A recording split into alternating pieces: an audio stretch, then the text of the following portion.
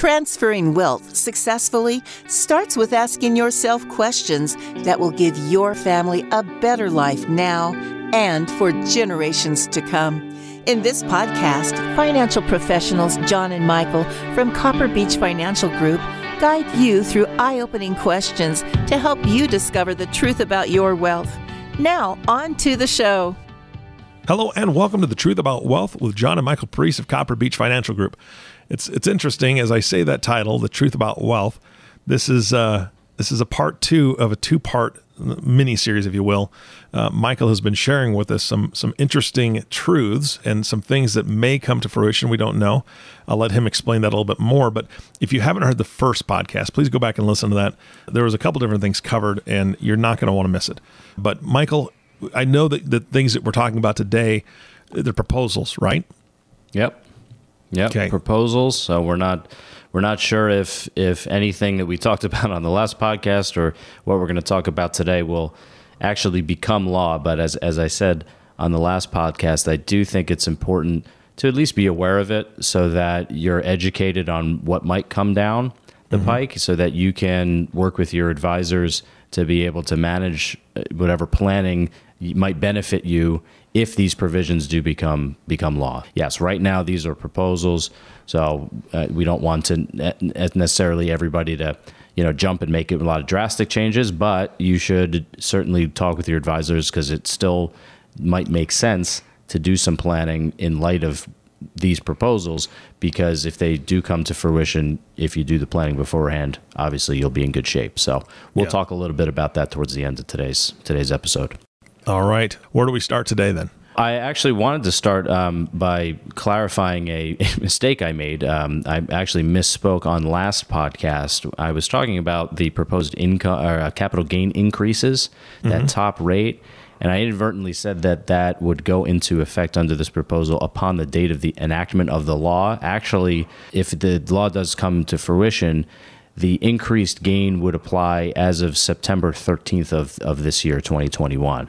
That's kind of a subtle difference, but I do think it matters because some people might be trying to uh, rush to do some some capital gain planning, if you will, maybe possibly liquidating assets today at the lower rate as of the, the date we're recording this, and probably the date that this comes out. This is after September 13th. So if you do it even right now and this law does come into fruition, you still would be paying that higher capital gain rate if that does apply to you. So I wanted to just clarify that in case um, in case anybody you know was trying to uh, maybe do some planning with that in mind. So wanted to wow. start there, uh, but we wanted to really cover today more on the estate planning uh, potential changes that that are in this proposal. And I think again, when we look at a family, we really work a lot generationally, and, and advanced estate planning is something that all of our families uh, undergo and, and that we focus a lot of our time on with them. So I think for today's episode, these provisions um, really could have a, a, drastic impact on a lot of the advanced planning that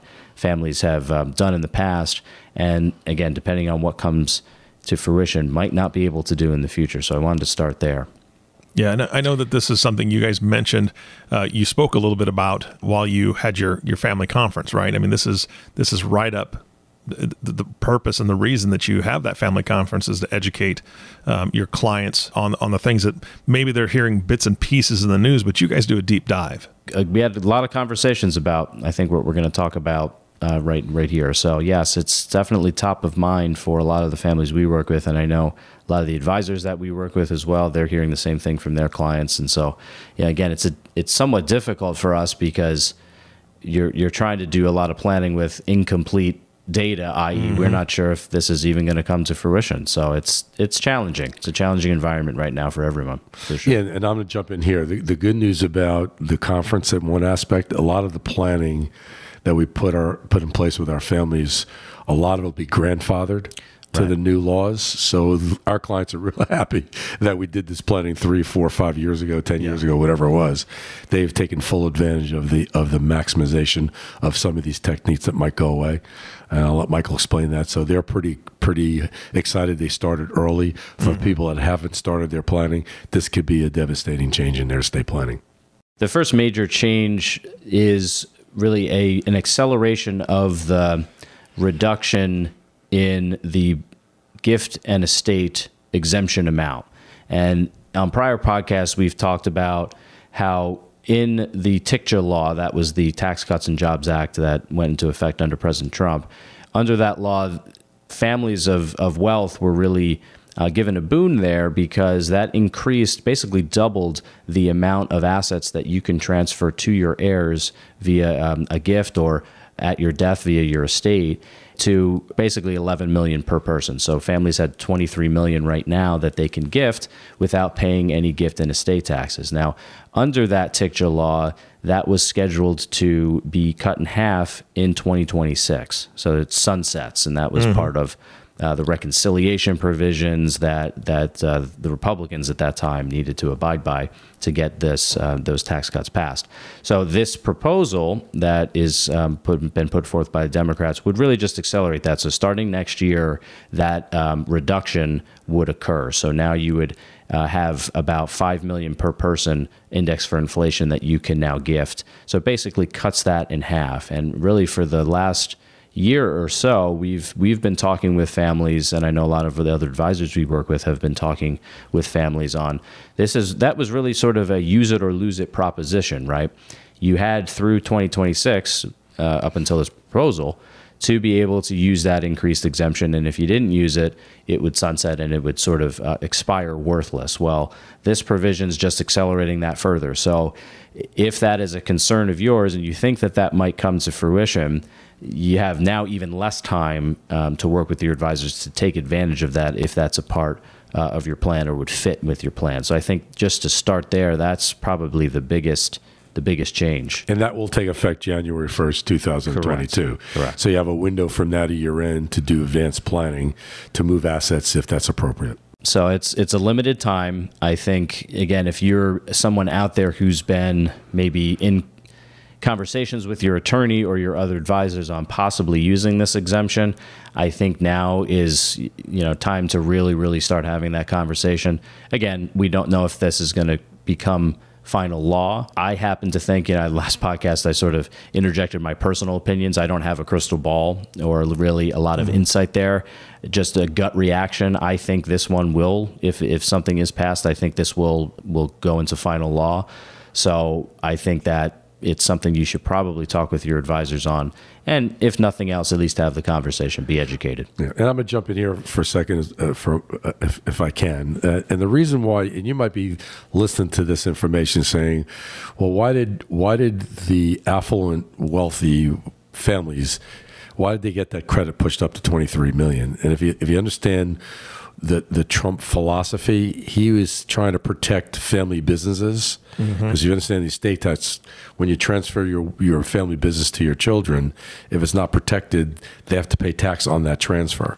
So he's trying to up that credit to allow more businesses to transfer to the second and third generations to keep our country you know growing as a society with business businesses hiring more people as, as, as time went on. That's the reason that that is that's a factor in in the estate planning models this is something that really actually isn't in the proposal that many people thought would be in the proposal, and that's the elimination of the stepped up income tax basis. And I think we may have even talked about that on a prior podcast um, because that was something that, particularly President Biden, has really had on the docket for pretty much since he's um, since he started running for president. That was one piece of legislation that he wanted to change, and that what that would do is, again, if you um, had an asset upon your passing that that had a large unrealized capital gain. So think a piece of real estate that you bought maybe years ago that has appreciated substantially. Under current law, if you pass away while you own that asset, the asset's basis steps up to its value as of your the date of death, meaning your heirs could then sell that property without paying uh, capital gains tax. That asset was typically a part of your taxable estate. So if you had a, a taxable estate, you would probably pay estate tax on that if it, if it was over that exemption amount that I mentioned earlier. But you would avoid that that capital gain tax, and and President Biden has really wanted to eliminate that. However, in this latest proposal. Uh, there really hasn't been any changes to that, so we'll see. Again, you know, that's one of those things that maybe it's a proposal that might that might come back in. You know, this mm-hmm. the the Senate still has uh, their version of this bill that they need to draft, so we'll see. They have to put all the put their heads together between the House and the Senate and see what's see what's going to stay and what's going to go. Yeah, what was gray in that, which a lot of people were concerned about, is it wasn't just going to hurt the affluent group. It, it, think about your mom and dad Eric, they owned that bought a house at hundred thousand dollars forty years ago. Now it's worth a million dollars because it's just pure appreciation. So when your mom and dad would have passed away and transferred the house to you, you'd have to pay capital gains on that house. Yeah, there was yeah. an exemption amount I think that they had proposed, yeah, but it was gray. It was a little gray and what it would cover, and you know, there's likelihood that. So we're glad that's not that's yeah. not proposed in this new at least this new set of yeah, absolutely uh, outline. So. Yep. Yeah, I think we we had a, a, family that we work with who's um, another family member bought a piece of real estate in the Bay Area of California, I think probably 40 some odd years ago for, I think it was like 40 or $50,000 and then sold it recently this year for a million five, I think was the number. So you can, you can imagine there's probably a lot of people out there that have that type of, of story where if that provision does become law, then that, that could have a big impact. So yeah, we're, we're glad that that's not there, but you know, again, we never know. Will that, will that sneak back in? We'll see on the estate planning side that's really changed really has a lot to do with advanced estate planning and really a, a hallmark of advanced estate planning that that a lot of advisors have used for for years. And that's this concept of a grantor trust. And we've talked about this on prior podcasts. Um, in fact probably a year ago we did a, an entire podcast on a sale to a defective grantor trust. And that was a, a transaction that really has a lot of benefit from an advanced estate planning standpoint and uh, if you if you want to go back and listen to that, it's a great podcast to listen to. Uh, however, if this provision of this proposal becomes law, it will essentially eliminate what we talked about a year ago. It would be very very difficult to accomplish that transaction. Really wouldn't have much benefit at all. So we wanted to talk a little bit about. Um, if you're in, in a, uh, let's say a business owner or a high net worth family that you're looking at doing some advanced gifting and a lot of the advanced gifting that you would do is to these types of grantor trusts. You have maybe even more of a limited window to take to take advantage of them. So again, if this is something that you've talked to your advisors about in the past and you're concerned about this, just bring it up to them. It's it's it's a good again to start that conversation. But what these grantor trusts are is a sort of a hybrid uh, trust, if you want to call it that. Is it is a trust that is uh, assets owned by this trust would be out of the family's taxable estate, but the grantor of that trust would be considered the owner of those assets of the trust assets for income tax purposes. It's a it's a again it's that hybrid. So it's out of your estate. The grantor pays income taxes on any of the earnings inside of that trust, and that would allow you to do a lot of what I we talked about last year. That sale to a defective trust. So because the taxpayer is the same in between the individual and the trust, in that transaction, you would sell an asset to the trust. If that asset had a capital gain in built into it, there wouldn't be any recognition event because the taxpayer was the same. Mm. It's a it's a lot of people think it's a very quirky area of the tax law. Um, there's reasons why it was put in place, which we don't have time to talk about today. But a lot of the Democrats that are putting these proposals forth view these trusts abusive. They, they believe that they should be curtailed significantly. And so, as I mentioned, with this proposal would eliminate your ability to sell assets to that grantor trust. And any assets owned by a grantor trust, that trusts that are created after 1 1 of 2022, so any assets owned by those grantor trusts and if the grantor passed away, those assets will be includable in that grantor's estate, which is not, again, under current law, the case. So it's a, believe it or not, again, this is not a area of this proposal that you're probably going to hear a lot on on mainstream media, but it does for in our world and for a lot of the families we work with that are considering uh, using these this advanced estate planning concept. It it's a it's a pretty big change. So it really is something that again, if you've been on the fence about doing this type of planning, talk with your advisors because again, the trust this would go into effect after the first of the year. So if you've already formed a grantor trust, as you mentioned, that a lot of this is grandfathered. So if you do have a trust that is a grantor trust that you put in place, uh, you know, this year or prior years, you are for the most part good to go. You'd be grandfathered here, although I'll get to uh, get to maybe a caveat of that in a second under this proposal. But go ahead, Doug. Yeah, and and right now you can imagine that we have two or three new families we're working with now that currently do not have these trusts in place. And I told them four or five months ago, you better move it. You mm-hmm. got till year end to get these trusts established because it again, if, if the proposals come through, you, you took advantage of it because you made time to do so. But if beyond one one twenty two, you won't have that option anymore. And It can have substantial impact on the on the family's wealth uh, generationally. And the other component is you can imagine all the law firms that are estate firms are extremely busy mm-hmm. with these with these trust designs. So so if you haven't looked at it and you have a sizable of a state, uh, you, you, get back to your advisors as soon as possible if you haven't considered this, and ask them about the grantor trust rules changing, and should you take advantage of and putting a trust in place currently to take advantage of it? Because beyond one one twenty two, again, if everything comes through, you're not going to be able to do this, which is going to really be a dramatic shift in the in the estate planning world for leveraging some of these benefits to family generational wealth transfers.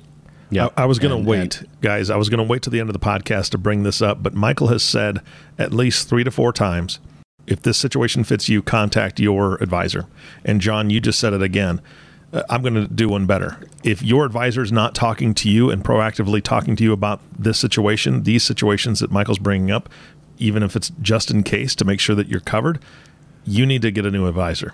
I'm just, just going to say it because these well, are that's another important. discussion for another day. well, yeah, but that's what I'm saying. I'm yeah. just saying you're talking, you're you're proactively talking to your clients about this, and I think that that's the right thing to do for anybody who is yeah. Is is managing these families and and helping them. If if your audience isn't being spoken to or, or, or, their advisors aren't being proactive, they need to talk to somebody else. And I'm going to say it's Copper Beech. So we'll give the contact information at the end. But I, I just hear this reoccurring need, right? And, and, and Michael, you're the one saying it most often. Hey, talk to your advisor. You don't want to run out of time. Um, if your advisor's not talking to you, you got to change. That, that's all. I'm sorry, I derailed this. Go ahead, Michael. Yeah, and the, and the, and the follow up on that comment, we did a we did the Secure Act. Remember the uh-huh. two podcast we did a month or so ago? I mean, we talk to families now. We're, we're doing tax planning at year end, as Michael stated earlier on the on the first podcast last last week. Is it is it CPAs are bringing that up? They're not even educating their clients yeah. on these large IRA and what's going to affect it as they transfer these IRAs to the kids. So so a lot of these proposals, a lot of these changes, for some reason, the average the average American is not hearing about or they're not reading about in detail. So again, that's why we thought this, these podcasts would be important. Again, not to scare anybody, mm-hmm. but to make you aware that these these are major changes if they occur and if you haven't done anything to, to, to, to, take advantage of the current law, you should now look into it. Again, I'll say it one more time contact your advisor and make sure that they're on top of this with you.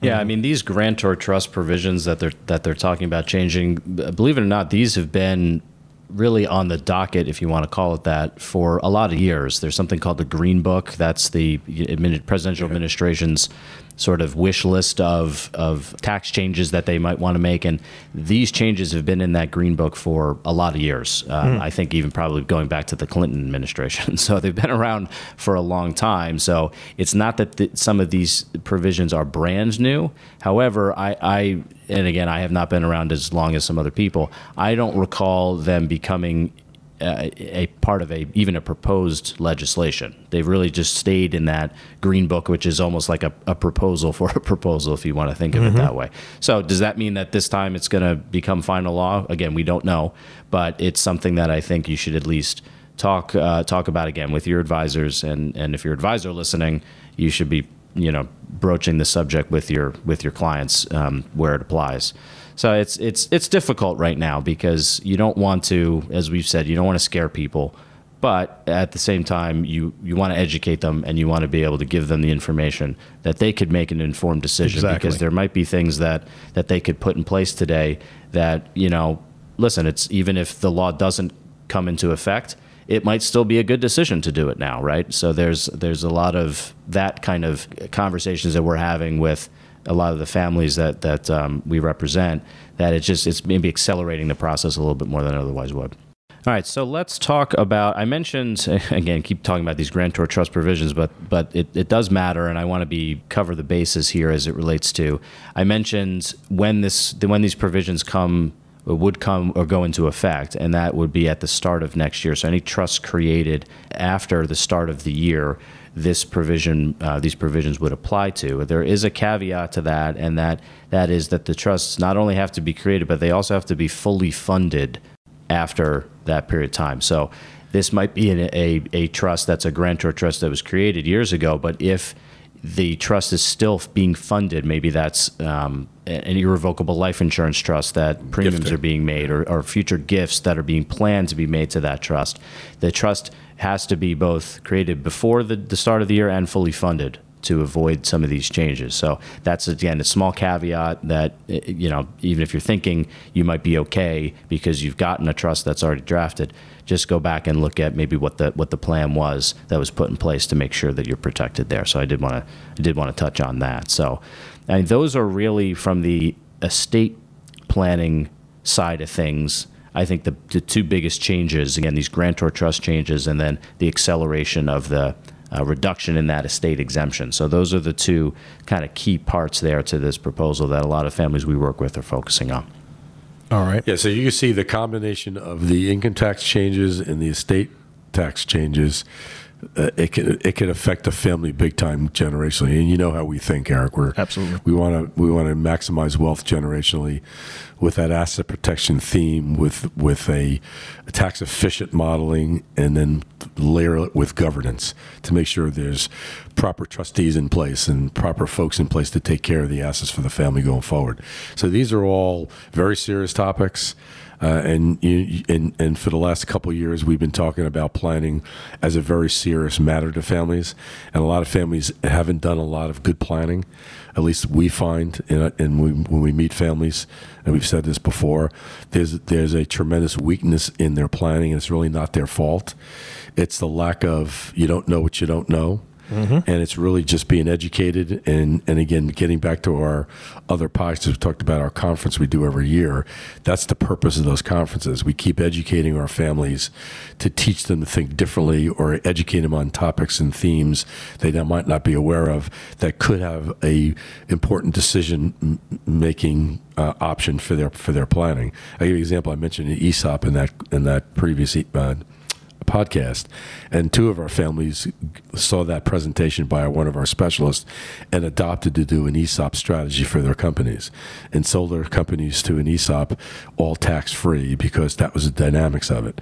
So it's really these these these this education is important, and again for people that are not getting that type of information from their current advisors, they should seek to get that from them. If they can't give it to them, they, they to your point, Eric, earlier, they might be they might want to look at other advisors. Now, I bring that up for a reason. Again, I'm not trying to again steer people in a in a in a vacuum here, but we call it the plateauing effect. There are a lot of families we work with that started as small at one part of their life, and they had an attorney or CPA that they're best friends with, they, they're neighbors, or they're part of their their their club someplace, and they'd stay with them, and they've been very very good advisors to them. But we often find as you start growing your net worth and create more complexity, the need to have more sophisticated planning in place is important. So it's not that you should fire or get rid of your current advisors, but layer in a specialist that has expertise in these areas that can help work with your part of your team to advance these concepts. So it's again, it's not a um, a black or white issue. It's just plugging someone else in that has the expertise. So with that said, that would be a clear recommendation for me that if you had a weakness in your advisory team that didn't have a good education on these sophisticated options, you seek someone who does and plug them in as one of your one of your new advisors as a specialist. Yeah, absolutely. There's nothing wrong with that. I mean, eh, bottom yeah. line is if you drove a Ford F 150 for a long time and your neighbor was a shade tree mechanic, that worked great. But now you have a Tesla. Yeah. Right. he doesn't right. have the equipment. Exactly. He doesn't have the skills or knowledge or, you know, everything gets upgraded. And as their wealth gets upgraded, that only makes sense that it's, it's nothing against your buddy, your neighbor, your cousin, whoever's been helping you it's just the fact that they don't have all the tools and resources that, that other advisors do. I mean, I mean, again, and I'll just be real subtle here. Uh, most people are very good procrastinators. it's human nature. That doesn't sound very subtle. It's, it's yeah, well, you know, right. so so so that's a challenge for a lot of us. They put things behind. I'll get to it. I'll get to it. I'll get to it. And and Eric, you've been talking to us for more than a couple of years now, and you know how passionate we are about getting our clients motivated to get on their planning and stay with it and finish it where it has impact. So it's the same message here. If you're procrastinating on this on this stuff, pay attention to it. It's important. Remember, it's not necessarily for you and your and your wife or you and your husband. It's for the family. It's a yeah. family focus that the what you do or not do for your family can affect them dramatically going forward. Yeah, I mean, we we talked about the our conference that we had where on our last podcast where we had a client actually go through our our family genealogy, which was uh, really enlightening for for us and our families. A lot of stuff we didn't know about, but um, the, one of the, the, our favorite questions is how do you want to be remembered? Mm-hmm. And I think that could that be answered in a lot of different ways as it relates to this this tax law change or potential change, you know, that that comes into that question. We've seen that time and again where families have procrastinated, Dad, like you said, and maybe just they missed the opportunity to take advantage of something that could really have a dramatic impact in their in their generational plan. Um, so it's it, again, we don't know if any of this is going to come to fruition at all. But you know, if if it doesn't come to fruition, it's always good to to get back in touch with your advisors and get a sort of state of the union, if you will. Mm-hmm. Yeah, I, I got to tell you a funny story. Years ago, I had a very good client, and and I use him as a reference. Um, he said, anytime you need me as a reference, more than happy to talk to a new, new, new client of yours, et cetera, et cetera. You have to know Frank. He was a he's a really smart business owner, but this stuff is too complex for him. He just trusted me and my team to get it done right, and most certainly we did it right. So I referred him to one of my clients, and the client called him up and said, "Say, Frank, tell me a little bit about John and Michael and, and Copper Beech. Gina, I don't know what they do, but he's the biggest pain in the ass I ever met in my life. He makes me do things that I don't pay attention to.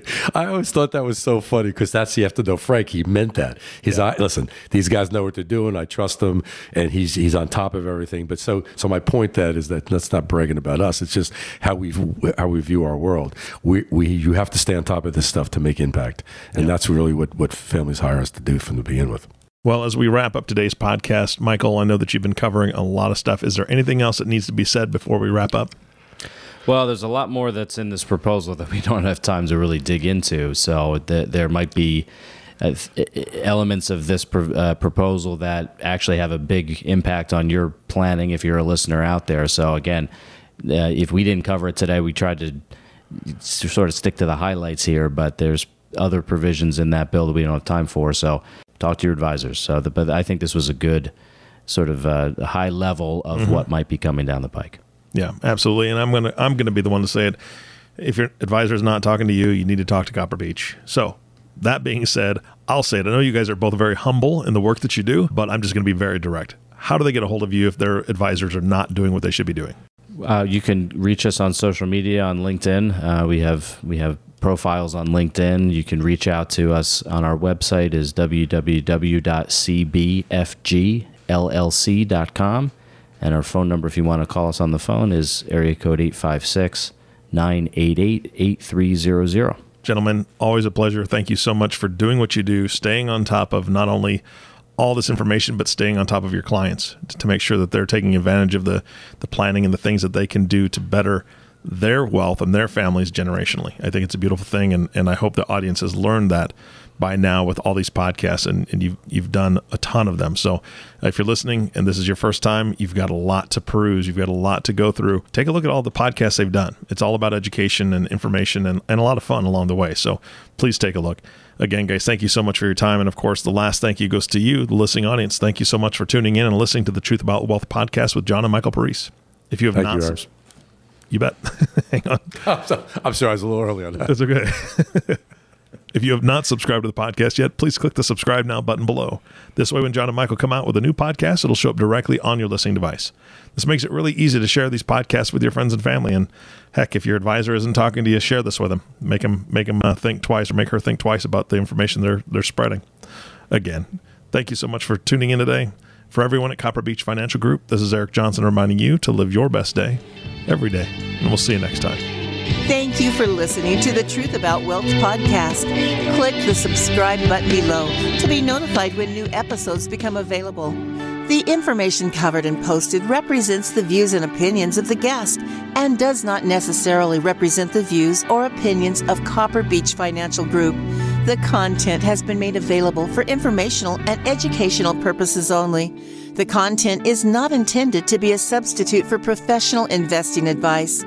Always seek the advice of your financial advisor or other qualified financial service provider with any questions you may have regarding your investment planning. This material is for informational purposes only. Neither APFS nor its representatives provide tax, legal, or accounting advice. Please consult your own tax, legal, or accounting professional before making any decisions. Copper Beech is not affiliated with American Portfolios Financial Services Inc. and American Portfolios Advisors Inc. Securities offered through American Portfolio Financial Services Inc., a member of FINRA SIPC, investment advisory and financial planning services offered through American Portfolio Advisors Inc., an SEC registered investment advisor.